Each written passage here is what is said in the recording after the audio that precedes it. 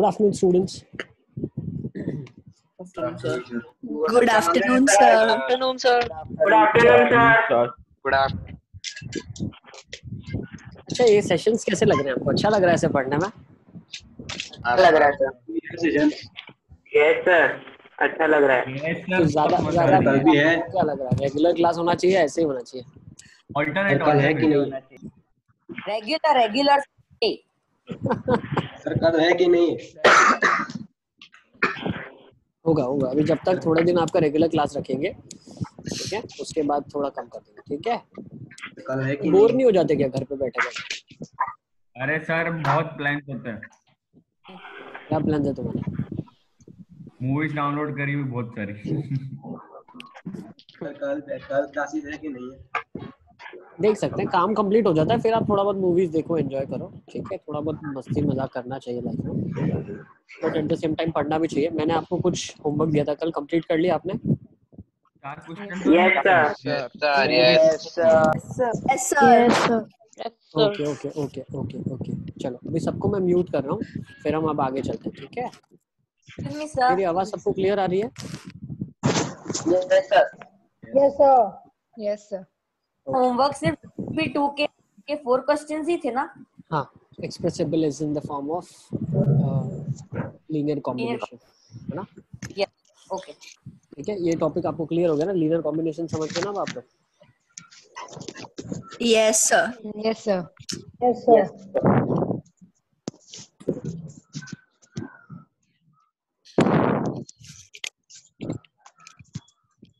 अभी एक बहुत इंपॉर्टेंट एस्पेक्ट देखने वाले हैं, ठीक है? यूजुअली इसमें से एक क्वेश्चन आता ही है। और बच्चे लास्ट तक इसमें मिस्टेक करते हैं। तो बहुत ध्यान से समझना आप लोग, ठीक है? कहीं पे भी अगर डाउट होता है तो मुझे स्टॉप करना, ठीक है? अभी सबको मैं म्यूट कर रहा हूँ।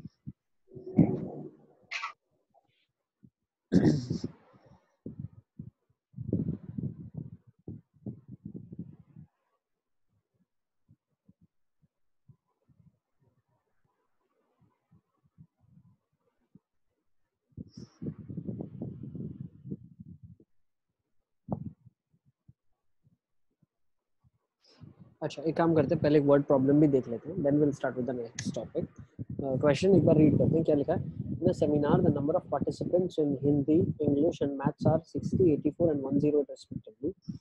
Find the minimum number of rooms required. If in each room, same number of participants are to be seated and all are having the same subject. तो वर्ड प्रॉब्लम में सबसे एक इंपॉर्टेंट चीज़ ये होती है कि आपको आइडेंटिफाई करना होता है कि हमें एच ढूंढना है या है। ठीक है? तो कैसे पता चलेगा एच ढूंढना है एलसीएम ढूंढना है? तो सबसे पहले हम क्वेश्चन में से ये इंटरप्रेट करते हैं कि जो वैल्यू हमको निकालनी है वो गिवन वैल्यू से छोटी होगी या बड़ी होगी? अब फॉर एग्ज़ाम्पल आपके पास सिक्सटी uh, हिंदी के स्टूडेंट्स है ठीक है? 84 इंग्लिश के स्टूडेंट्स है और 108 मैथ्स के स्टूडेंट्स है। अब मुझे क्या करना है? मेरे को नंबर ऑफ़ क्लासरूम्स बताना है कम से कम कितने क्लासरूम चाहिए होंगे? अब कम से कम क्लासरूम मतलब एक क्लासरूम में ज़्यादा से ज़्यादा लोग फिट करूँगा तो कम से कम क्लासरूम लगेंगे। नेक्स्ट कम से कम कितने क्लासरूम लगेंगे? Such in such a way that each room has same number of participants तो ऐसे नंबर जो अंदर नंबर ऑफ़ पार्टिसिपेंट्स होने चाहिए वो सारे सेम होने चाहिए। तो क्या मैं बोल सकता हूँ सेम नंबर जो तीनों को डिवाइड करेगा वो एचसीएफ ही होगा? ठीक है? तो it is very clear from the question कि हमें एच सी ढूंढना है। तो हम क्या करेंगे 60, 84 और 108 का एच ढूंढेंगे। That will be the number of participants in each classroom ठीक है? तो मान लेते हैं इसका हम एच निकाल लेते हैं let me do it over here ठीक है? तो 60, 84 और 108 का हम एच निकालते हैं। अब इट इज़ नॉट नेसेसरी कि आपको एच ईडीएल से ही निकालना है। आप प्राइम फैक्टराइजेशन से भी निकाल सकते हो लेकिन ईडीएल हमने पढ़ा है तो let's use that 108 can be used as 84 into 1 plus 16 plus 8 you'll get 24 then 84 will be 24 into 3 that is 72 plus 12 then 24 would be 12 into 2 plus 0 so can i say 12 is the required hcf at this stage? Yes. Hcf आपका 12 हो जाएगा इन दो numbers का। अब 12 और 60 के बीच में हम ईडीएल लगाएँगे तो जो कॉमन होगा वो एचसीएफ आपके पास आ जाएगा। So it's very clearly visible 60 and 12 का भी एचसीएफ 12 60 और 12 का एचसीएफ भी 12 भी आएगा क्यों? 12 is also 12 into 5 gives you 60 ना? तो मैं बोल सकता हूँ 12 is the HCF मतलब क्वेश्चन में ऐसा था, minimum number of rooms required. If in each room, same number of participants are to be seated तो हर रूम में 12 पार्टिसिपेंट्स को आप बिठा सकते हैं। ठीक है? अब अगर हर क्लासरूम में 12 पार्टिसिपेंट्स को आपने बिठाया तो 60 पार्टिसिपेंट्स है तो पाँच हिंदी वाले क्लासरूम चाहिए होंगे। सिमिलरली 12 सेवन जा 84 सो आपको सेवन क्लासरूम्स इंग्लिश के लिए चाहिए होंगे। ठीक है? सिमिलरली आपको 108 है। तो नाइन क्लासरूम्स मैथ्स के लिए चाहिए होंगे so in total you will be requiring 9 plus 7 16 and 16 plus 5 21 तो ये लिखा है 21 classrooms will be required in total and 12 should be there in each classroom so the understanding from this question was you have to identify where you have to find out the HCF or LCM अब कहाँ LCM use करेंगे वो मैं बताता हूँ इस question को आप नोट डाउन कर लीजिए किसी को कोई डाउट है तो आप हाथ उठा सकते हैं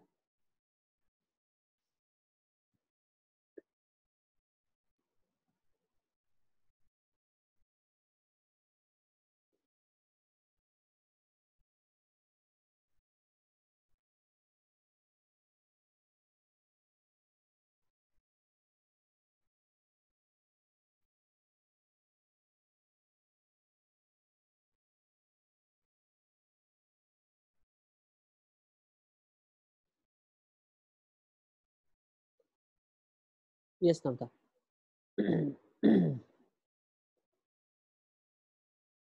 hello yes Navta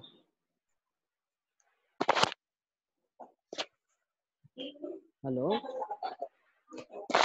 Hello sir yes Navta sir ये रूम्स कैसे आए सी हमारे पास क्या दिया हुआ है? पहले हमको ढूंढना है कि हर क्लासरूम में सेम नंबर ऑफ़ पार्टिसिपेंट्स होना चाहिए। तो क्या मैं बोल सकता हूँ सेम नंबर जो तीनों को डिवाइड करेगा वो एचसीएफ होगा। तो मैंने तीन नंबर हाँ, ठीक है? तो मुझे एच सी मिला। तो अब ट्वेल्व एक ऐसा नंबर है जो तीनों को डिवाइड कर रहा है। तो मैं बोल सकता हूँ हर रूम में आप बारह बारह लोगों को बिठाएँगे तो ये सिक्सटी भी कुछ ट्वेल्व का मल्टीपल होगा। एटी फोर भी ट्वेल्व का मल्टीपल होगा और वन ज़ीरो एट भी ट्वेल्व का मल्टीपल होगा। ठीक है? सो अगर ट्वेल्व एक रूम में आपने बिठा दिए तो सिक्सटी लोगों के लिए पाँच क्लासरूम्स लगेंगे ना आपको। सिमिलरली अगर ट्वेल्व क्लासरूम में बिठा दिए तो 84 को अकोमोडेट करने के लिए सेवन क्लासरूम्स लगेंगे। सिमिलरली 108 को अकोमोडेट करने के लिए नाइन क्लासरूम्स लगेंगे ठीक है? तो nine plus seven sixteen and five twenty one classrooms in all you will be requiring to fit these many number of participants okay sir okay I guess सबने note down भी कर लिया हम आगे चलते हैं ठीक है? किसी का बाकी है तो you can raise your Jayneel का बाकी है, लिख लो Jaynil. Mansoor right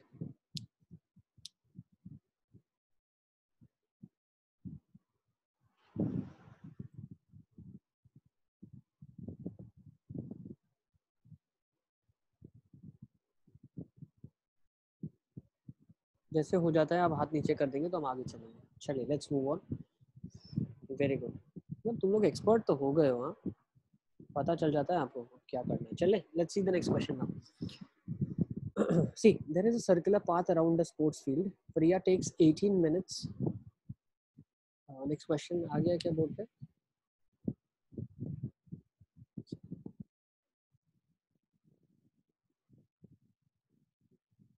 I guess ah now see let's this is the next question in, there is a circular path around the sports field. Priya takes 18 minutes to drive one round of the field while Ravish takes 12 minutes for the same. Suppose they both start at the same point and at the same time and they go in the same direction. After how many minutes will they meet again at the starting point?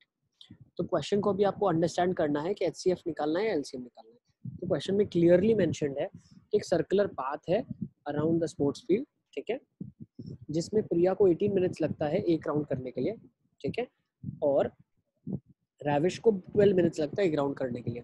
तो अगर प्रिया rounds कर रही है तो for example प्रिया ने यहाँ से start किया प्रिया ने एक राउंड कंप्लीट किया 18 मिनट्स के अंदर, ठीक है?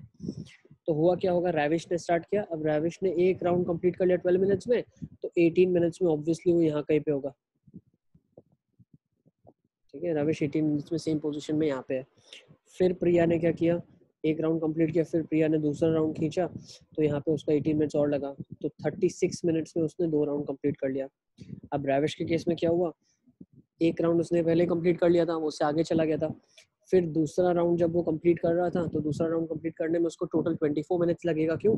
12 मिनट्स तो एक राउंड कंप्लीट करने में लगता है। तो 24 में दो राउंड कंप्लीट हो गया। फिर वो एक राउंड करने गया।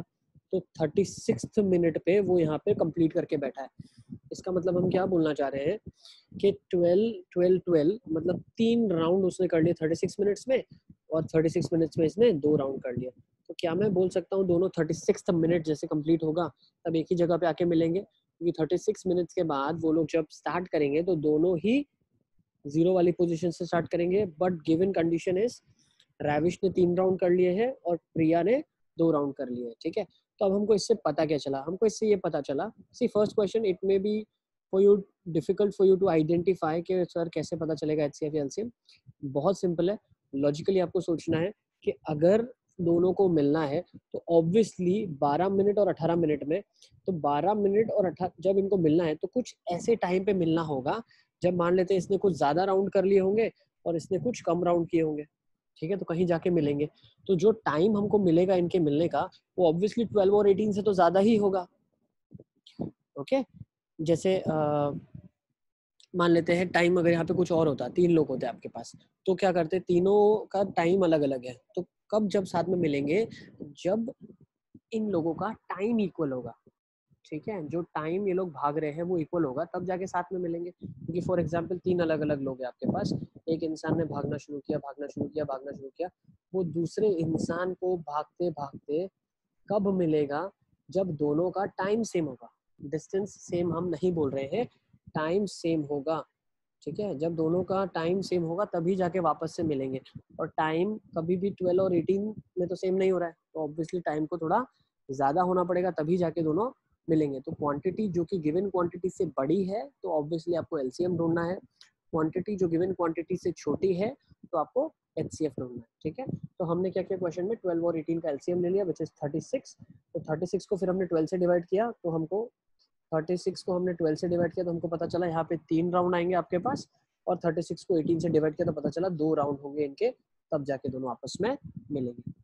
इज़ इट क्लियर ठीक है? तो आई गेस इसको मैं हटा देता हूँ अभी के लिए ठीक है? तो आप इस क्वेश्चन को नोट डाउन कर सकते हैं और लिख सकते हैं LCM of two numbers is 36 and at 36 they will meet in which Ravish would have taken three rounds and Priya would have taken two. ये सब बस। ये तो अ, बीच में कहीं पे नहीं मिल सकते अगर नंबर्स बदल दे तो? अ, मिल सकते हैं। क्यों नहीं मिल सकते? बिल्कुल मिल सकते हैं। जैसे मान लेते हैं, एक का 16 कर दिया और दूसरे का मैंने 24 रखा। ठीक है? तो चेक कर लेंगे, उस हिसाब से आपका आंसर आ जाएगा। यस हैं मान लेते हैं दो नंबर्स हम ले लेते हैं ना। Let's take two numbers different numbers एक ले लिया आपने 16 और एक ले लिया आपने 24 ठीक है? तो अगर इसका हम एलसीएम निकालेंगे तो कितना आ जाएगा? एट टू 8 3 आ जाएगा 16 3 48 ठीक है ना? वापस से वही स्टोरी हो गया। कोई और नंबर लेना पड़ेगा। आ सकता है, बस it's based on the numbers मान लेते हैं दो नंबर्स है जिनका एलसीएम हमारा कुछ ऐसा आ रहा है। बट बीच में आई गेस नहीं मिलेंगे। क्यों? क्योंकि मान लो जब भी आप एलसीएम लोगे दो नंबर्स का लेट्स थिंक ऑफ़ दैट दो नंबर्स का एलसीएम लेंगे तो एलसीएम गिवन नंबर्स के कुछ मल्टीपल में ही होगा। ठीक है? जैसे मान लेते हैं एक नंबर है सिक्स और एक नंबर है आपके पास नाइन ठीक है? इसका जब हम एलसीएम लेंगे that will be giving you 18 ठीक है? तो ऑब्वियसली 18 सिक्स का भी मल्टीपल है 18 नाइन का भी मल्टीपल है. तो जो नंबर ऑफ़ राउंड्स होंगे, वो पूरे कंप्लीट सर्कल सर्कुलर राउंड्स ही होंगे. यहाँ से देखेंगे तो इसने तीन राउंड कर लिए होंगे 18 मिनट्स में, और इसने दो राउंड कर लिए होंगे. ठीक है? क्लियर तो जो आपके पास राउंड्स आएँगे, वो तो इंटीग्रली आ रहे हैं. क्यों? क्योंकि जो एलसीएम है गिवन नंबर्स का मल्टीपल गिवन नंबर्स एलसीएम के फैक्टर्स ही होते हैं. यस है यू आर अनम्यूटेड सर ये एलसीएम फाइंड करने का सिर्फ़ एक ही मेथड है प्राइम फैक्टराइजेशन और कोई मेथड नहीं है? दूसरा भी मेथड है वो मैं आपको बताता हूँ। इसके बाद एक फॉर्मूला है जो हम यूज़ कर सकते हैं। बट यूजुअली हम वो यूज़ करने के लिए आपको एचसीएफ पता होना चाहिए ठीक है? तो बेटर है अगर हमको एच निकालना ही पड़ रहा है तो बेटर हम एलसीएम ही निकाल लेते हैं सीधा ठीक है? ओके फॉर्मूला है there is another formula but वो कहाँ यूज़ करते हैं वो भी मैं आपको बताऊँगा ठीक है? चलें अब आगे। यस ओके अरिस्ट को डाउट है? यस अरिस्ट बेटा। सर हमको कैसे पता चला कि एलसीएम फाइंड करना है वो मुझे समझ नहीं आया। जब भी नंबर जो हम ढूंढना चाहते हैं या जो हमारा आंसर एक्सपेक्टेड है वो गिवन आंसर से छोटा है। जैसे मान लो आपको नंबर ऑफ़ पीपल फिट करने क्लासरूम में आपके पास सौ लोग हैं। एक क्लासरूम में आप सौ से ज़्यादा तो नहीं फिट कर सकते। तो जो क्वांटिटी आएगी वो ऑब्वियसली हंड्रेड से छोटी आएगी। तो क्वांटिटी जब गिवन क्वांटिटी से छोटी आती है तो हमें ऑब्वियसली पता है कि एच सी क्वांटिटी अगर गिवन क्वांटिटी से बड़ी आने वाली है, जैसे एक बारह मिनट में एक राउंड कर रहा है, एक अठारह मिनट में कर रहा है। तो एक राउंड जब पूरा कंप्लीट कर लेते हैं तो ऑब्वियसली पहले राउंड में तो मिलेंगे नहीं। है ना? क्यों? क्योंकि पहले राउंड में वो बेचारे ने 12 मिनट में तो पूरा राउंड कंप्लीट कर लिया और वो 12 मिनट में कहाँ पे three fourth of the round उसने कंप्लीट किया होगा? One third of the round complete किया होगा ये मैडम ने ठीक है ना? 18 मिनट में पूरा कर रही है तो 12 मिनट में यस वन थर्ड उसका बाकी होगा अभी कवर करना ठीक है? तो वन थर्ड वो कवर करना बाकी है और इसने तो पूरा राउंड कंप्लीट कर लिया। फ़र्स्ट राउंड में तो दोनों नहीं मिलेंगे। ऑब्वियसली कहीं आगे जाके मिलेंगे। तो जो टाइम हमारे पास आएगा वो इन दोनों के टाइम से बड़ा होगा। ठीक है? तो क्वांटिटी जब गिवन क्वांटिटी से बड़ी आती है तो obviously we go for finding out LCM और छोटी आती है तो वी गो फॉर एचसीएफ ठीक है? यस सर ओके चलें आगे। अब्बास अभी भी तुम्हारा रेज हैंड है डाउट है क्या?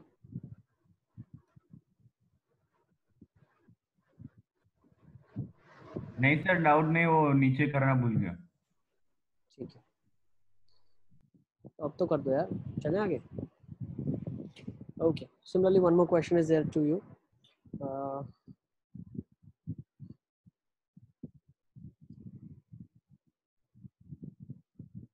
let's see this question.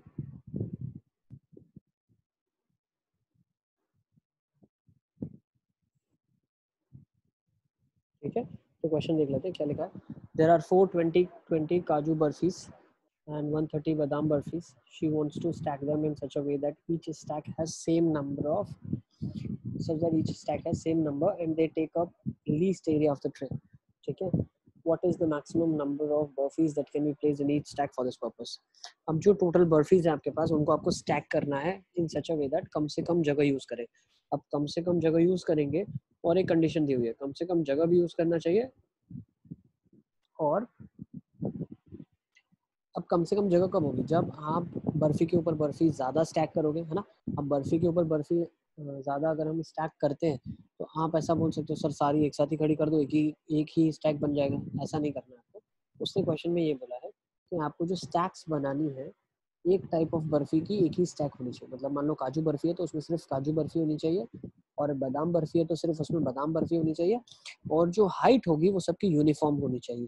ठीक है? So let's read the question again there are 420 kaju barfis and 130 badam barfis she wants to stack them in such a way that each stack has same number this is what was to be taken care of हर एक के अंदर same number of stack होना चाहिए and they take up least area least area मतलब highest जो length होना चाहिए स्टैक का वो हाईएस्ट होना चाहिए स्टैक की हाइट जो होनी वो सबसे बड़ी होनी चाहिए अब what is the maximum number of barfis that can be placed in each stack ठीक है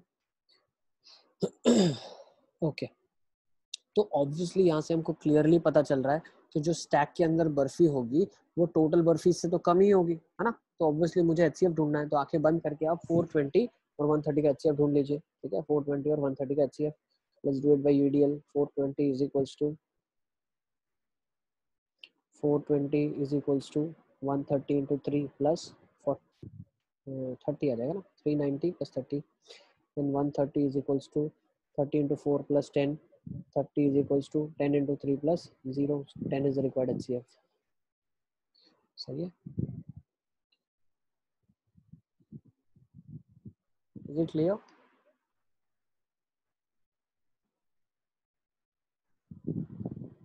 मुझे लग रहा है वीडियो अटक गया शायद अटक गया क्या वीडियो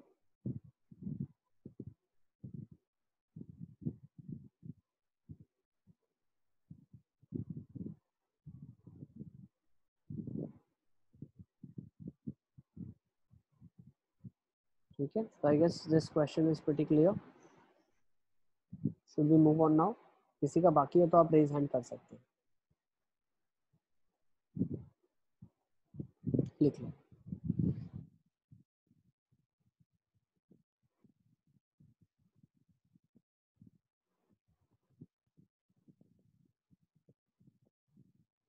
जैसे हो जाता है आप हाथ नीचे कर सकते हैं ठीक है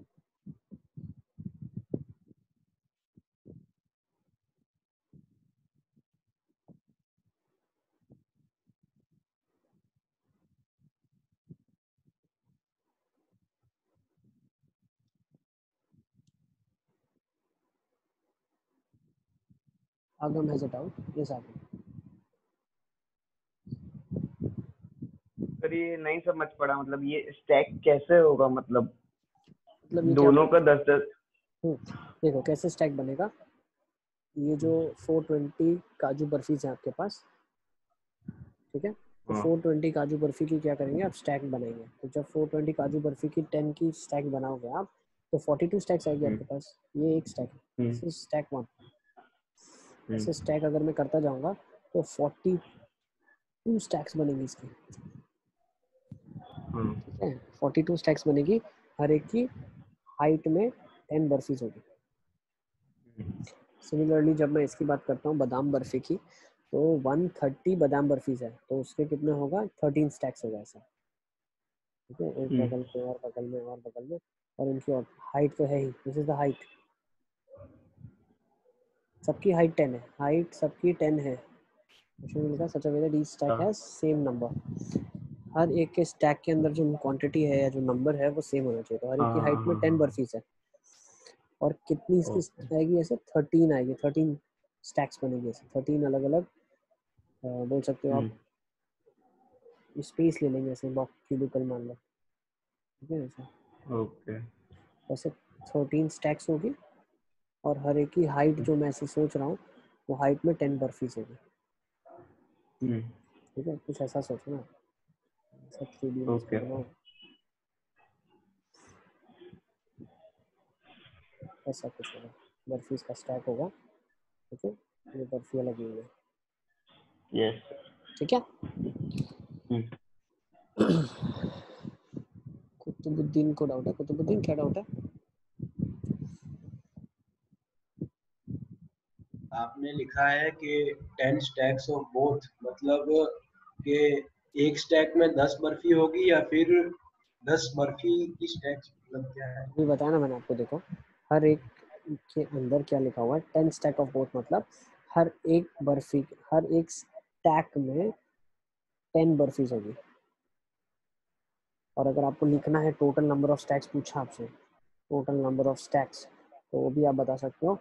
42 स्टैक्स जो होंगे वो काजू बर्फीज के होंगे और 13 बादाम बर्फ़ी के होंगे तो total five fifty five total आपके पास स्टैक्स होंगे। ठीक है? चलें आगे? चलिए लेट्स मूव ऑन नाउ आप लोगों ने लिख लिया होगा।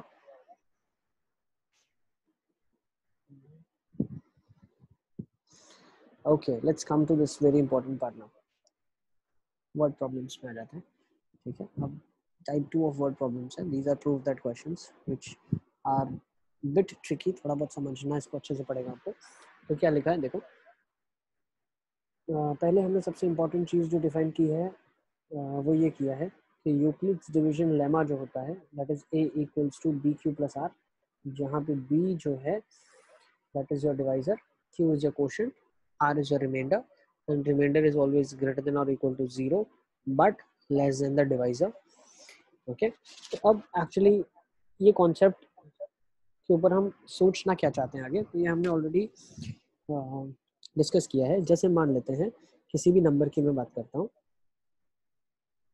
लेट्स से 55 मेरे पास एक नंबर है ठीक है तो 55 को मैं क्या कर सकता हूँ 55 को मैं क्या कर सकता हूँ फोर इंटू अगर मुझे फोर के कुछ मल्टीपल में लिखना है इसको, ठीक है? तो मैं क्या लिख सकता हूँ? Four into thirteen that's fifty two plus three लिख सकता हूँ? ठीक है? तो किसी भी नंबर अब अब इसमें सबसे एक इंपॉर्टेंट चीज़ जो हमको समझनी है, वो ये है, एक सेकेंड ओके okay. अब इसमें सबसे एक इंपॉर्टेंट चीज़ जो हमको समझनी है वो ये समझनी है कि अगर किसी नंबर को मैं लिखता हूँ, a is equals to b cube plus r and if I fix b, अगर मैं b को फिक्स करता हूँ then all the numbers, all the numbers in the currently we are talking about all the positive integers ठीक है? अगर हम specifically बात करें हमारी स्टडी में we are talking about all the positive integers ठीक है? If I fix b then all the positive integers in the number system can be defined ठीक है? फॉर एग्ज़ाम्पल अगर मैं बी को फाइव फिक्स कर देता हूँ, ठीक है? मैंने क्या किया? बी को फाइव फिक्स कर दिया। तो मैं हर नंबर को every number I can express as a is equals to 5q plus r. अब इसका अंडरस्टैंडिंग क्या है देखो, हम इसको थोड़ा सा और अच्छे से अंडरस्टैंड करना चाहते हैं। किसी भी नंबर को मैं 5q प्लस आर के फॉर्म में लिख सकता हूँ। ठीक है? ये मुझे क्यों हेल्पफुल होगा? ये मुझे कैसे यूज़ करना है? तो देखो, बहुत बार क्या होता है ना, आपको क्वेश्चन ऐसे दे दिया जाएगा। Show that all the positive odd integers are of the form 6m plus 1 6m plus 3 and 6m plus 5 इसका मतलब क्या है जो भी नंबर 6m plus 1 में आपने लिखा ये लिखने का एक तरीका है तो जिसको भी आपने 6m plus जिसको भी आप आई गेस वीडियो स्टक हो गया ना।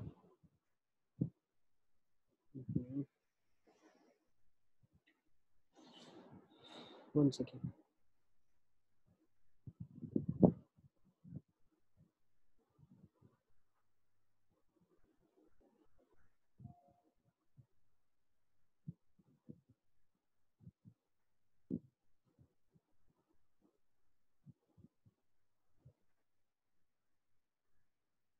wait wait wait wait wait connect कर लेंगे फिर से।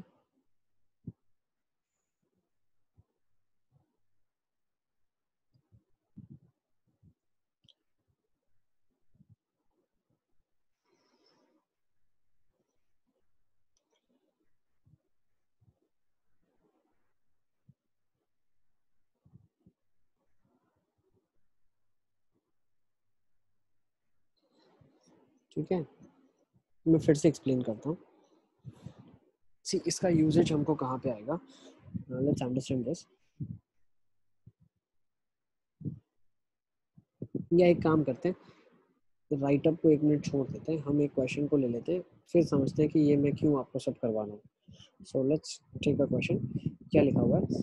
Show that let's come to a question question में लिखा है show that every positive integer is of the form 2q और 2q every positive, even integer is of the form 2q and odd is of the form 2q plus 1 मतलब हर एक even integer को मैं 2q के form में लिख सकता हूँ और हर एक ऑड को 2q प्लस वन में लिख सकता हूँ। तो इसको मैं प्रूफ करके दिखाता हूँ। देखो 2q है, ठीक है? मतलब q क्या है? क्वेश्चन है।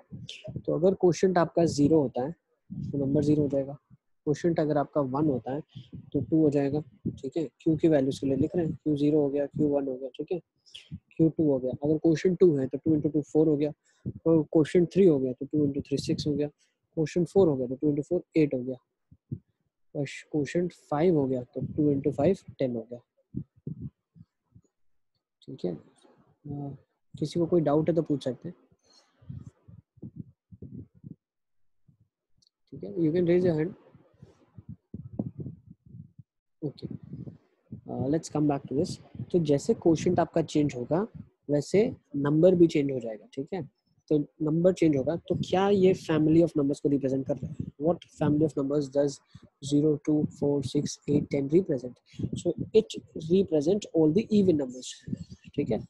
तो अब मैं अगर कभी भी दुनिया में इवन नंबर्स के बारे में बात करता हूँ तो मैं zero two four six eight ten नहीं बोलूँगा। मैं कभी भी बोलूँगा टू क्यू के नंबर्स टू क्यू के नंबर्स का मतलब क्या है? सारे even numbers is it clear next मान लो टू क्यू प्लस वन की हम बात करते हैं तो जैसे क्यू की इंटीग्रल वैल्यूज़ हम सब्सिट्यूट करते हैं पॉजिटिव तो एक आता है वन, फिर आएगा थ्री फिर आएगा फाइव फिर आएगा सेवन फिर आएगा नाइन फिर आएगा इलेवन तो ये कौन सी फैमिली को रिप्रेजेंट कर रहा है?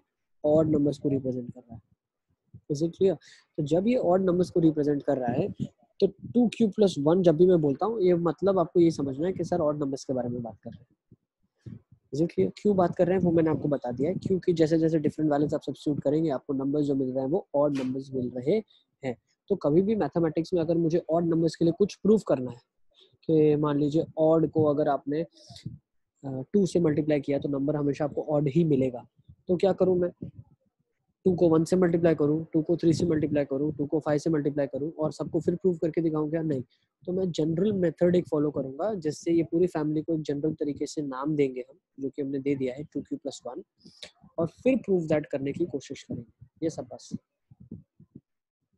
सर ये क्यू की वैल्यू वन टू थ्री थोड़ी ना हो सकती है। पॉइंट वन मतलब point zero zero point five one point five भी तो हो सकती है ना? क्यों क्या होता है? क्यों क्या होता है? क्वेश्चन क्यों क्या होता है? नहीं कांस्टेंट नहीं होता। क्यों क्या होता है? क्या? क्यों क्वोशंट होता है ना बेटा? हाँ हाँ। तो क्वोशंट 1.5 लेते हैं क्या कभी हम डिवीज़न में?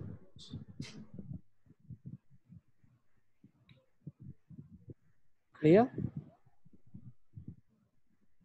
ठीक है मैं क्या बोलना चाह रहा हूँ पता चल रहा है आपको? टू क्या है तो ऊपर आता है वो ना। क्वोशंट क्वोशंट डिवाइजर हाँ। और रिमाइंडर तो क्वोशंट कभी हम डेसिमल में लेते हैं क्या डिवीज़न में? हम्म, हाँ अभी आपने सेवन इंटू थ्री करने की कोशिश की ठीक है? तो जो क्वोशंट हम लेंगे तो सेवन टू या सिक्स लेंगे। व्हाट माय पॉइंट ठीक है? तो सेवन को अगर मुझे थ्री के फॉर्म में लिखना है तो मैं कैसे लिखता हूँ हमेशा? अभी तो मैंने आपको बताया सेवन को लिख सकते हैं two into three plus one तो three is your divisor in this case and two is your question and one is your reminder is it clear ठीक है? तो अब मैं आपको लॉजिकली चीज़ क्या समझा रहा हूँ? मैं ये समझा रहा हूँ कि कभी भी ये सिस्टम को हम क्यों लाए? Why did we introduce this this system हमने इस सिस्टम को इंट्रोड्यूस इसीलिए किया क्योंकि फैमिली ऑफ़ नंबर्स को हम बार बार नहीं लिखना चाहते। अभी तो आपका एस्पेक्ट बहुत छोटा है। अब जो चीज़ें आप देख रहे हो काफ़ी छोटी लग रही है कि zero two four six eight है, वो एक फैमिली हो गई one three five seven nine एक फैमिली हो गई। तो हमने अगर आप ऑब्ज़र्व करो, सारे नंबर्स इसमें कवर हो गए। क्या कोई नंबर्स और बच रहे हैं क्या इसके अलावा? नहीं बच रहे। तो कोई अगर मुझसे क्वेश्चन पूछता है, sir what about two q plus three क्या मैं टू क्यू प्लस थ्री नहीं लिख सकता क्या? नहीं लिख सकता। This is wrong two q plus three अगर आप कभी लिखते हैं तो ये एक मिस्टेक है। क्यों मिस्टेक है? क्योंकि यहाँ पे जो आपका रिमाइंडर है see if you understand two q plus three this gives you reminder ठीक है? और टू क्या है? आपका डिवाइजर है।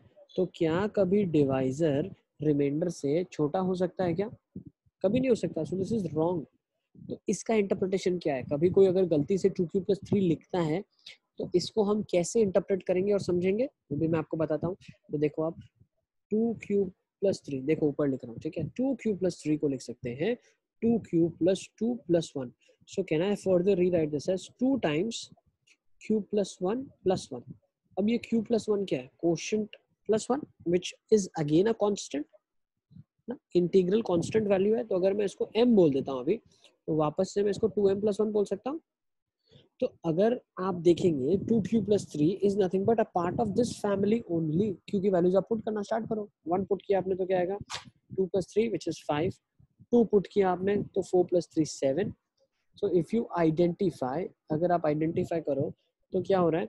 यही फैमिली को हम रिप्रेजेंट कर रहे हैं, लेकिन कुछ मेंबर्स छूट रहे हैं। ठीक है? तो मैं ऐसा बोल सकता हूँ टू क्यू प्लस थ्री एक इसका पार्ट है। ठीक है? जबकि सबसे बड़ा तो टू क्यू प्लस वन ही है। ठीक है? तो टू क्यू प्लस थ्री का खुद का कोई एग्जिस्टेंस नहीं है।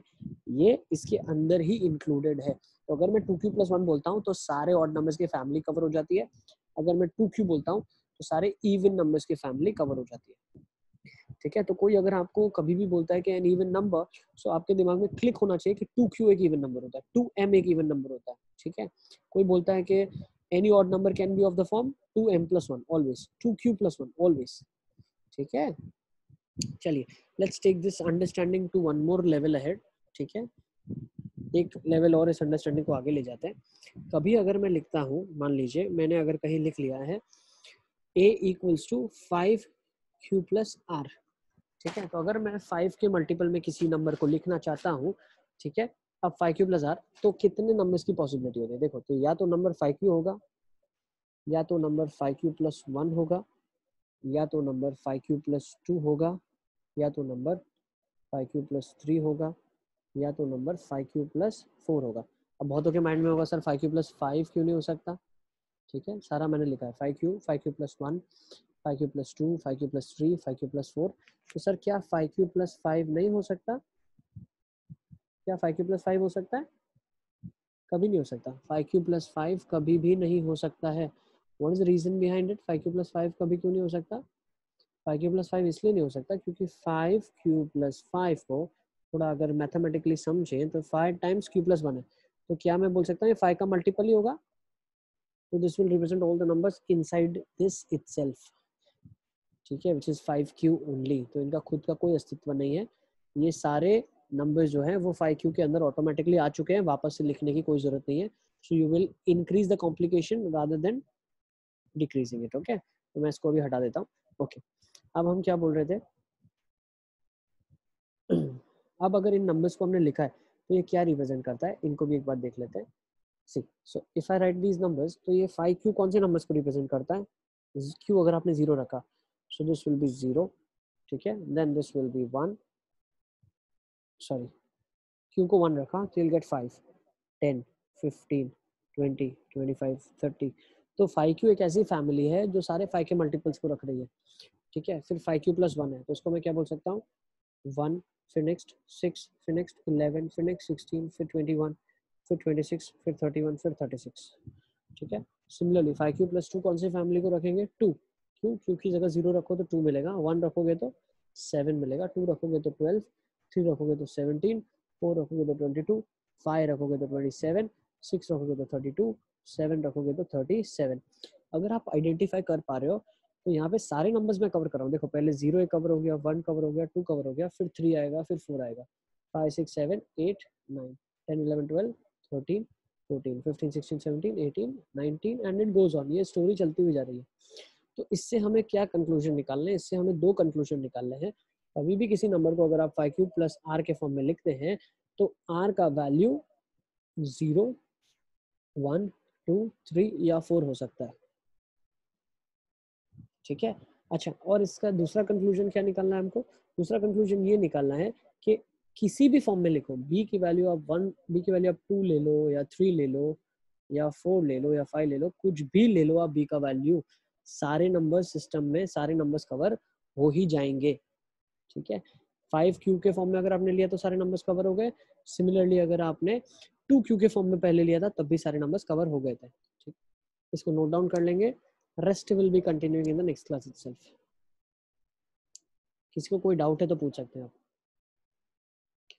सी ये सब मेथड्स हम क्यों सीख रहे हैं? ऐसे लिखने का तरीका हम क्यों सीख रहे हैं?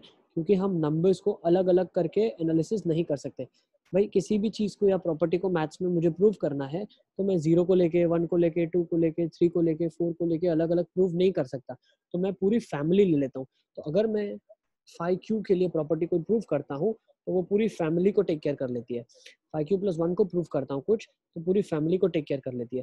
फाइव क्यू प्लस टू को प्रूव करता हूँ तो पूरी फैमिली को टेक केयर करती है। फाइव क्यू प्लस थ्री पूरी फैमिली और five q plus four is responsible for its own family. So I have to only prove for one two three four and five people जो चीज़ें ये पाँच लोग satisfy करेंगे, वो इनके फैमिली का हर आदमी वो चीज़ या इनके फैमिली का हर मेंबर